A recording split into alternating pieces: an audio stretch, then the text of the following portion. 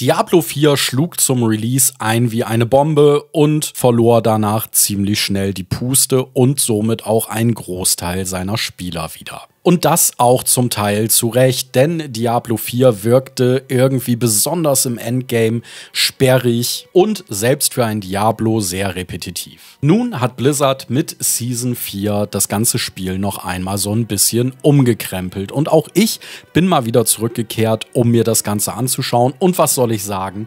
Ich bin recht begeistert. Warum das so ist, erzähle ich euch in diesem Video.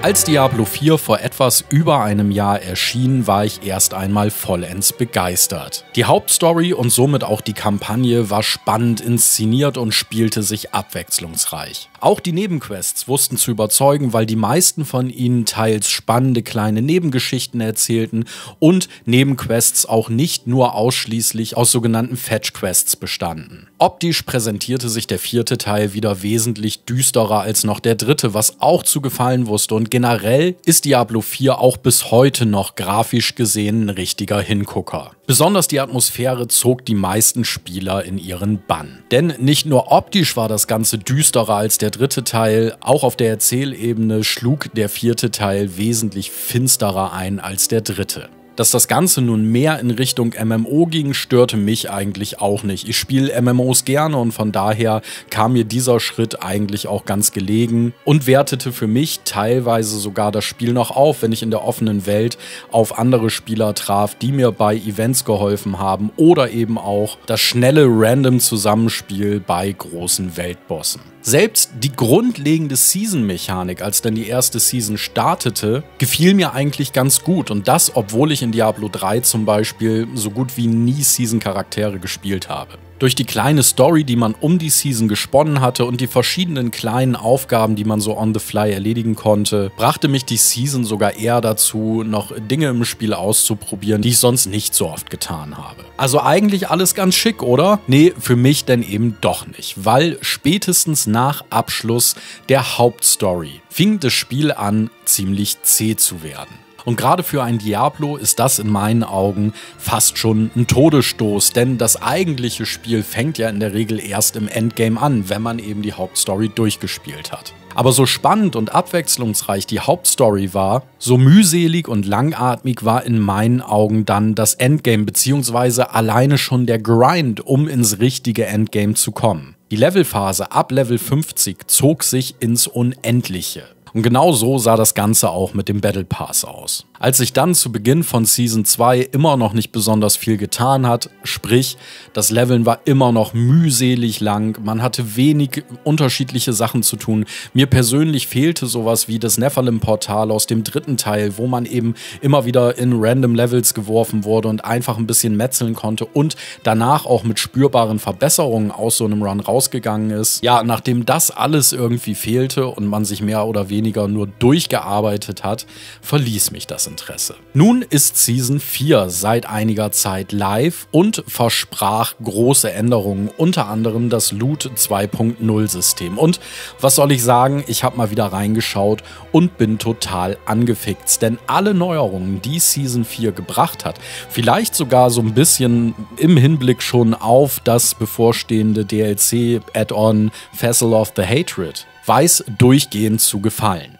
Die größte Änderung ist das eben schon angesprochene Loot 2.0 System, das darauf abzielt, die Qualität der gefundenen Gegenstände deutlich zu verbessern, womit man nicht mehr so schnell vollgemüllt wird mit irgendwelchen random Sachen, sondern in der Regel sogar bei kleinen kurzen Runs ähm, gute Sachen finden kann.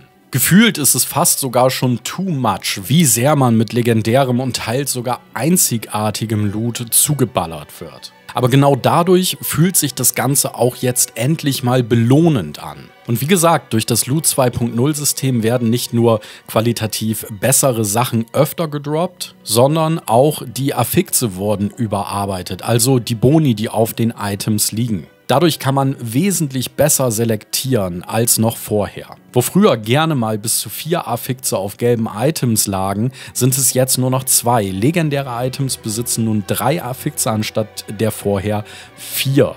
Dadurch wird das Aussortieren auch nicht mehr zur Fleißarbeit, sondern man sieht direkt auf dem ersten Blick, ob man tatsächlich durch das neue Item eine Verbesserung erfährt oder eben nicht. Und es fühlt sich auch einfach gut an, wenn man zum Beispiel am Ende eines Dungeons einen Boss legt und da halt nicht nur Mengen an Müll draus droppt, sondern tatsächlich auf dem ersten Blick schon mal viele geile Sachen, die man sich dann, wenn man sie genauer anschaut, sogar noch mehr feiern kann, weil in der Regel immer irgendwas dabei ist, was den Charakter Charakter wirklich nochmal ein bisschen zumindest verbessert. Einhergehend mit dem neuen Loot-System wurde auch das Crafting überarbeitet.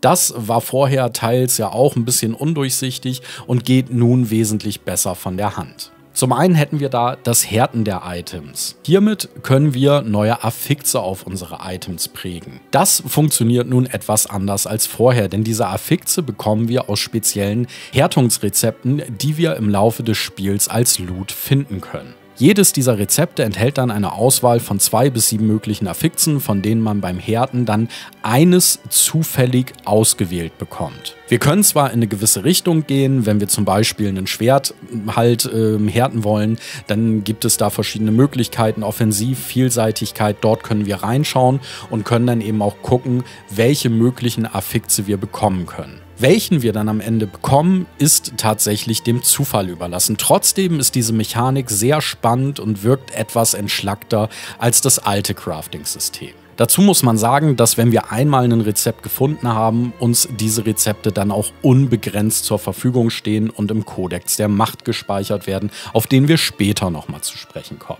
Sind wir dann im Endgame angekommen, gibt es noch das Vollenden. Dies ist sozusagen der Endgame-Crafting-Prozess, bei dem alle Affixe eines Gegenstandes verbessert werden. Das gilt allerdings nur für legendäre Ahnen-Items mit zwei gehärteten Affixen oder Uniques. Um das Vollenden freizuschalten, müssen wir die Pit, die Grube durchlaufen und erste Materialien finden. Die Grube wiederum auch ein äh, neues Endgame-Feature sozusagen in Diablo 4, wird freigeschaltet, nachdem wir einen Albtraum-Dungeon der Stufe 46 abgeschlossen haben. Also wie gesagt, das Ganze ist dann eben sozusagen der große Teil des Endgames. Und die Grube kann man dabei fast so ein bisschen mit den Nephalem-Portalen aus dem dritten Teil vergleichen.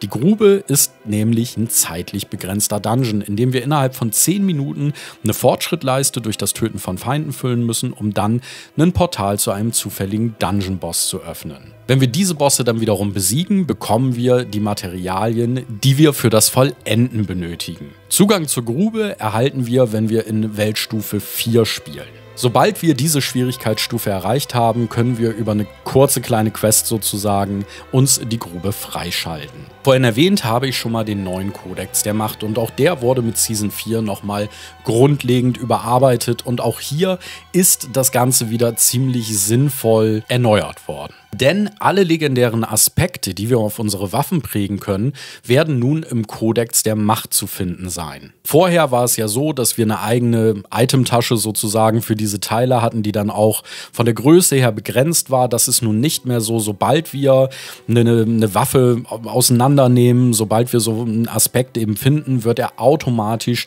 im Kodex der Macht freigeschaltet werden und kann dann eben auch noch über Basiswerte hinaus aufgewertet werden. Somit entfällt jetzt das lästige Farmen und Sammeln von Aspekten komplett, denn sobald wir irgendwas beim Schmied zerlegen, bekommen wir Sachen, die wir noch nicht haben, in unserem Kodex freigeschaltet und können dann daraus auf diese Aspekte zugreifen. Das bedeutet auch, wenn wir einen Aspekt im Kodex haben und zum Beispiel ein legendäres Item mit einer höheren Roll finden, wird dieser Aspekt dann im Kodex soweit aufgewertet. Definitiv auch wieder eine sinnvolle Änderung, was das ganze Spielsystem entschlackt. Zu guter Letzt wurde auch nochmal die Höllenflut überarbeitet und das war tatsächlich eine Sache, die mir auf dem Weg ins Endgame am meisten Spaß gemacht hat. Auch weil sie diesmal so einen direkten Bezug zur Season-Reise von Season 4 hat. Nach Release waren die Höllenfluten eigentlich das, was ich am meisten vernachlässigt habe. Es war irgendwie wenig belohnend und ja, auch dezent langweilig. Nun ist das Ganze überarbeitet worden. Während einer Höllenflut ist die Schwierigkeit der Monster natürlich erheblich erhöht. Das kennen wir. Wir bekommen für getötete Monster Glut, mit der wir wiederum die Höllenfluttruhen öffnen können. Darin bekommen wir dann einen ganzen Haufen Items und eben auch Wolfsehre, die wir wiederum benutzen können, um bei den Eisenwölfen Ruf zu farmen. Die Eisenwölfe sind eine neue Fraktion, die jetzt mit Season 4 ins Spiel gekommen sind, die sozusagen ja die Kernfunktion von Season 4 sind und das Ganze ist irgendwie ganz spannend gemacht. Natürlich hat man darum wieder so eine kleine ja, Mini-Kampagne gestrickt und zu guter Letzt können wir dann mit dem Ruf bei den Eisenwölfen Werwölfen eben auch nochmal in so einer Art separatem Mini-Battle Pass, würde ich fast sagen, Ingame-Items freischalten. Und dieses System macht auf jeden Fall Spaß. Dadurch sind dann die Höllenfluten auch gleich doppelt belohnt, weil wir eben zum einen in den Höllenfluten wahnsinnig schnell aufleveln können, weil da wirklich die Hölle im wahrsten Sinne des Wortes los ist.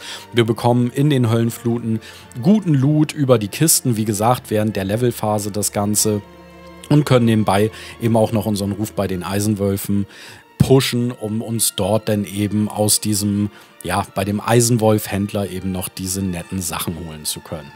Während wir in der Höllenflut dann Monster besiegen, füllt sich nebenbei noch eine Bedrohungsleiste.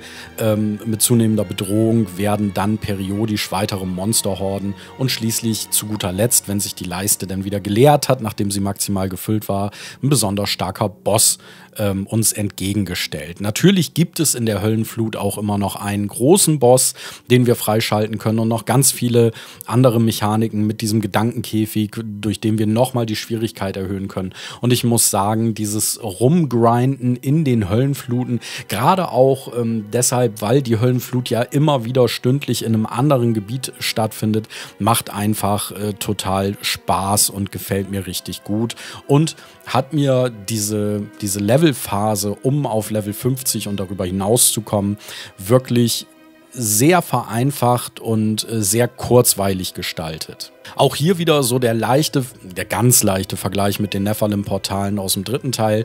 Die Höllenfluten sind wirklich was, wo man mal eben für eine Viertelstunde reingehen kann, nonstop Action mit Schnetzeln haben kann trotz alledem mit ja, einer gut gefüllten EP-Leiste am Ende rausgeht und meistens sogar noch mit ein paar guten Items. Von daher diese überarbeitete Höllenflut wirklich für mich äh, das Ding, was mich am Anfang wieder dazu verleitet hat, ähm, länger zu spielen und Spaß mit Diablo 4 zu haben.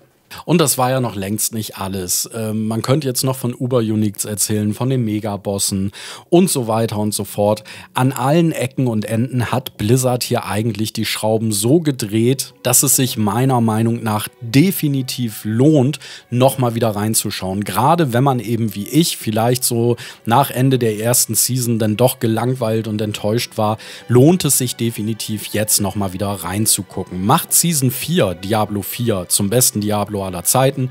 Auf gar keinen Fall. Dafür ist noch viel zu viel Luft nach oben. Aber es macht Diablo 4 definitiv zu einem wesentlich besseren, äh, belohnenderen und spaßigeren Spiel, als es das eben noch bei Release war. Von daher meine Empfehlung, wenn ihr jetzt wirklich lange Diablo 4 in der Ecke habt liegen lassen oder es vielleicht noch gar nicht gespielt habt. Ich meine, mittlerweile ist das Ding im Battle Pass zu haben, von daher das Reingucken dürfte da niemanden allzu sehr wehtun. Also, wenn ihr es bis jetzt noch nicht gemacht habt oder eben wirklich überlegt, ob ihr mal wieder reingucken möchtet, dann tut das auf jeden Fall.